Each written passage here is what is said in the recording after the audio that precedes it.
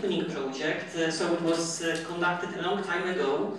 Uh, its title was What Matters in Your Life. It was a project with uh, a school from Italy and later a school from Russia joined us. Uh, yes, from Russia, yes. Uh, you know that uh, usually we conduct projects only with EU countries and e-twinning plus countries, yes, okay, but this lady, the teacher, I mean from Russia, asked us to join this project and we agreed and uh, we conducted uh, this project together. So at the beginning of the project, we collected ideas, uh, what matters in life for all participants, and here you can see the results. Uh, the tool we used uh, to do that is Answer Garden. Are you familiar with this tool? Yes, okay, so that's a very useful tool, especially for the introductory stage, for the very beginning of the project.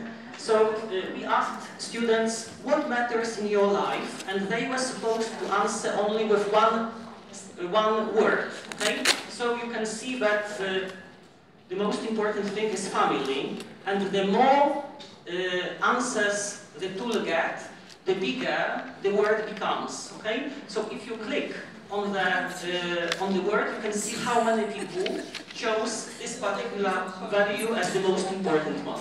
I think that that's uh, a good idea to collect and to have a big picture of the whole group, yes, of all the participants, mm -hmm. uh, especially yeah. in the yeah. introductory yeah. phase.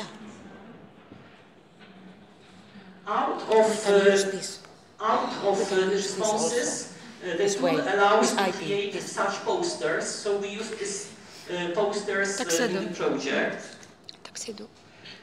Our next task was to uh, choose uh, logo. a logo. Yes, you can see some proposals. Uh, the big one won in the voting. Yesterday I told you about Tricider, but you can use Tricider to vote, for example, uh, for the best logo. Uh, and uh, what I like about this logo is the fact that it's, the idea is very simple here.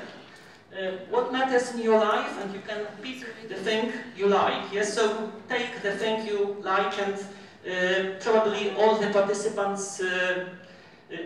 In another project entitled in the same way, What Matters in Your Life, I conducted exactly the same, maybe not exactly the same, but a similar project like 10 years later, after the first project.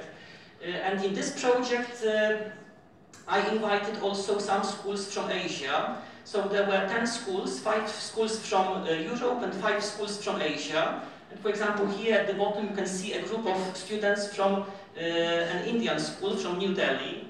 Uh, at the top, uh, our Romanian partners. Uh, and in this project, uh, we organized a task called the Week of particular countries. So we had the week of India, the week of Poland, uh, the week of Romania, Greece, and so on and so on.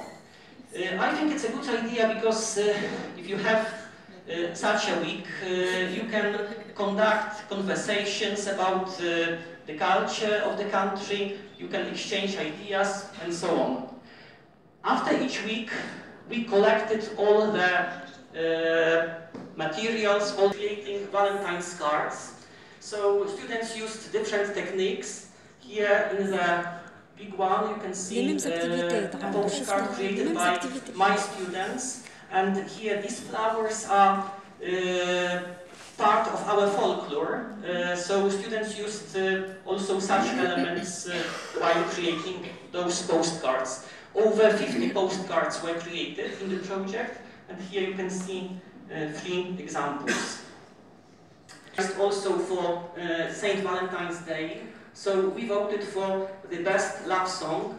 And you remember that Ed Sheeran's photograph won in that voting.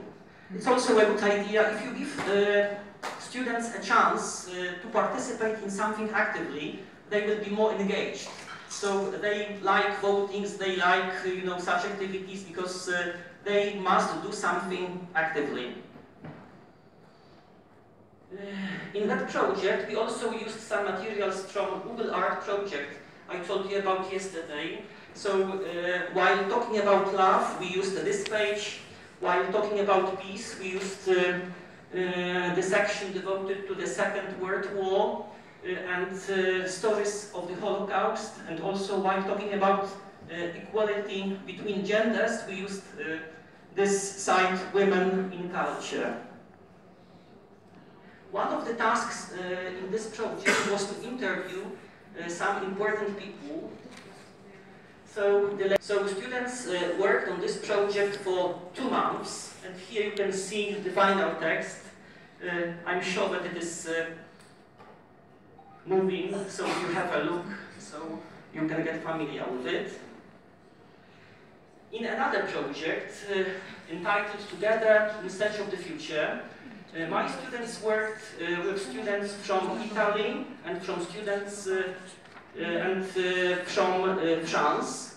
So here you can see some logo from all the participants because we also used Tricider to choose this logo.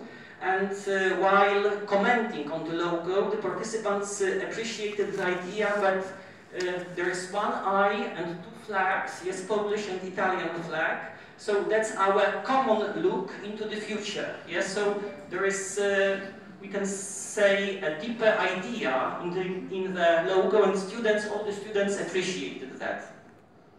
Uh, were uh, asked to present some national traditions connected with Christmas, so you can see uh, what food is served in Christmas, uh, what plays are performed during Christmas time, and we collected all those things on Padlet.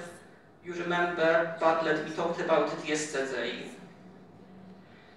Uh, at Christmas time, uh, my group uh, went out and the other groups uh, went out to the city to look for Christmas signs. And here you can see some photos. Uh, so in Italy, uh, Carnival is more popular than in Poland, especially uh, in the Venice region, where my school is, uh, partner school is uh, located. so students went out to the streets and collected some materials to be presented to our partners. In the same project, we had a task which was inspired by a BBC uh, activity. Uh, that year, BBC organized a competition uh, to choose the best description of the future based on some uh, British artists' uh, paintings. You can see the paintings here.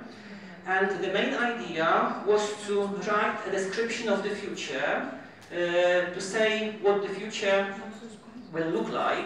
We wanted to explore uh, we wanted to give our students as much autonomy as possible. So we asked them to uh, come up with some uh, topics and uh, they came up with 12 topics and uh, they chose the topic they wanted to work on. And they worked in Polish, Italian groups. In June, before holidays, uh, we had uh, several uh, online sessions, and in these sessions, the groups presented the results of the work. So what they managed to collect, what they learned on the topic, and it was uh, done uh, on Skype at that time, because at that time uh, we didn't have the video conferencing tool we have now on TwinSpace. Now you know that you can organize a video conference on TwinSpace. Uh, here's another project uh, my students took part in. Uh, it was entitled Two Neighbors, One Perspective. It was a project with a German school uh, from Würzburg in the south of Germany. Uh, and uh, it was a really good experience to, to be there together. We also organized two lectures. Uh, the gentleman on the left is uh, the professor from the Würzburg University. Uh, this lecture was organized online, so my students uh, were sitting in the classroom uh, and taking part in the lesson, uh, in the lecture online. after the lecture, we had like half an hour questions and answer sessions. So uh, the professor answered the questions from my students.